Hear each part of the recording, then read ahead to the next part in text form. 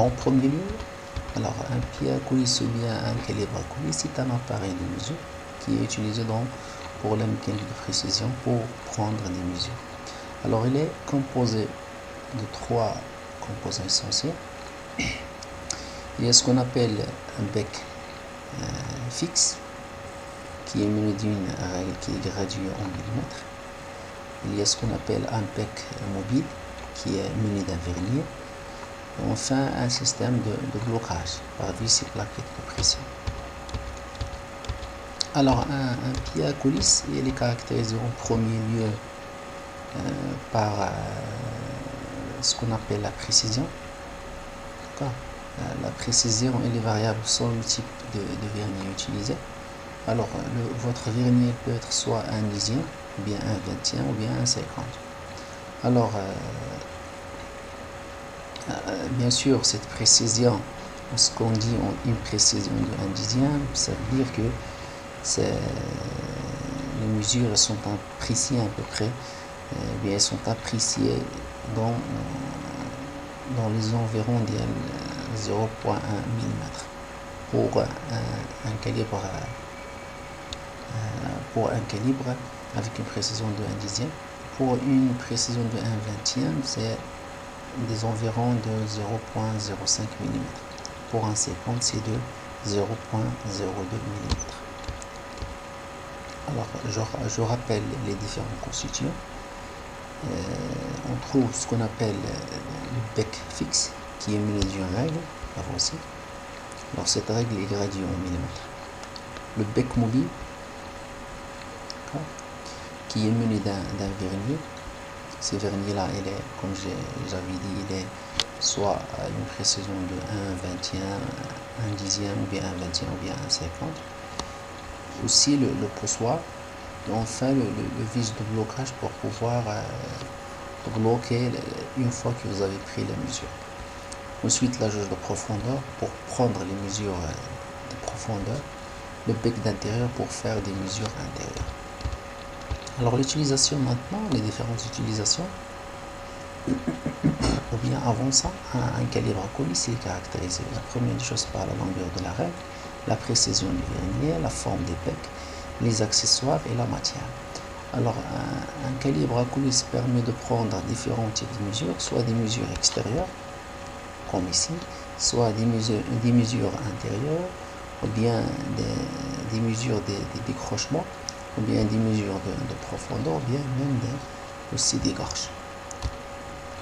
Alors maintenant, comment faire euh, pour bien utiliser, ou bien pour bien prendre une bonne lecture au niveau de votre, votre, votre calibre à Alors en premier lieu, on va commencer avec un vernis avec une, un dixième de précision. Alors, la première des choses, il faut chercher le point euh, dans lequel le, zéro du vernier est en face d'une gradation de, la règle. Comme ici, il faut remarquer que le zéro, de, le zéro du vernier est confondu avec 9, avec 9 sur la règle. Donc, euh, dans ce cas-là, dans ce cas-là, on peut facilement lire la mesure bien on peut facilement prendre la mesure ou les zones directement sur la règle nombre 10 mm qui correspond à la graduation. Alors dans ce cas-là, 9 mm. Maintenant, lorsque le, zéro du vernis n'est pas en face d'une radiation de la règle, vous, allez remarquer ça ici. Le zéro de la règle, il n'est pas, ou bien je m'excuse, le zéro du vernier, il n'est pas confondu avec une avec euh, une graduation de, bec fixe ou bien de, la règle. D'accord? Alors, euh, la première des choses, il faut lire sur la règle au nombre entier du millimètre avant le zéro du vernier. D'accord? Aller chercher la, valeur avant le, zéro du, vernier. Ici, c'est 9 parce que la règle nous avons dit qu'il est gradué au millimètre. Elle est 9. D'accord? On la pose ici. Ensuite, repérer la graduation du vernier qui est le mieux aligné à une graduation quelconque de la règle. Ensuite, on cherche la, graduation du vernier qui est confondue avec la, graduation qui est mieux alignée à une graduation quelconque de la règle. Dans ce cas-là, Dans ce cas-là, par exemple, c'est la sixième gradation, vous avez remarqué ici. Alors 5, 6, c'était la, première, la, première, la première graduation la mieux alignée avec la graduation règles. Alors 6, il suffit de la multiplier par un dixième, ça va vous donner 0,6. D'accord? Donc c'est 9,6 mm.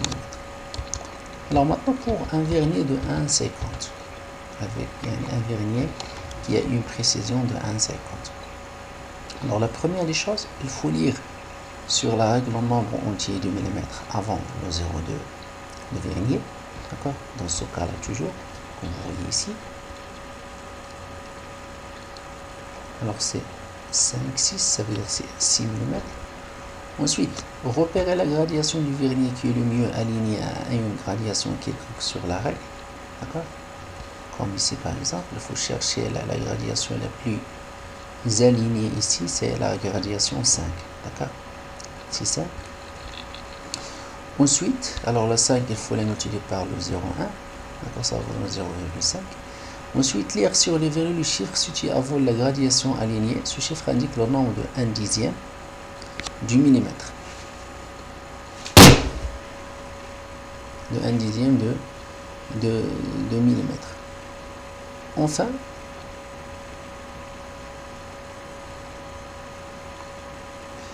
Enfin, euh, il suffit de, compter le nombre de divisions après le chiffre et le multiplier par 2. On obtient les 1 sur centième correspond à la cote mesurée.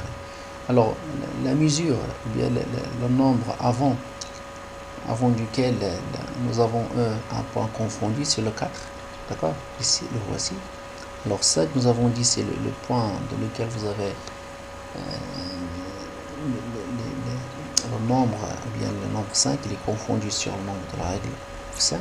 D'accord À 5, la voici.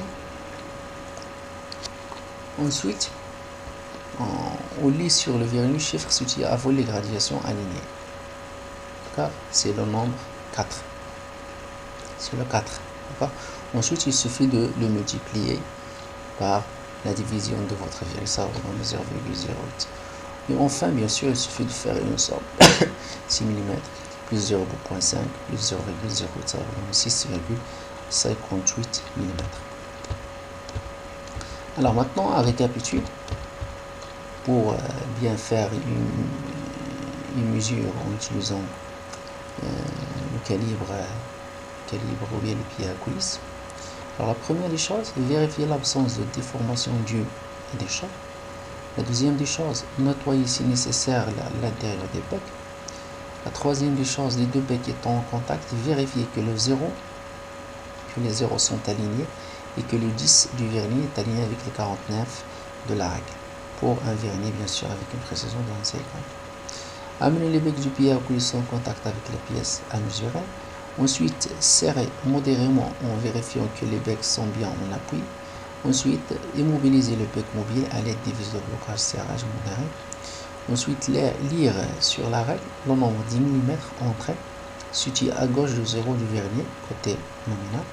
Ensuite, rechercher sur le vernier la gradation qui est dans le prolongement d'une gradation de la règle. Ensuite, compter le nombre de gradations situées entre le zéro du vernier et la gradation trouvée. Enfin, le nombre de, graduations trouvées multiplié par 0.2 nous donne la fraction du millimètre qui correspond à la cote mesurée.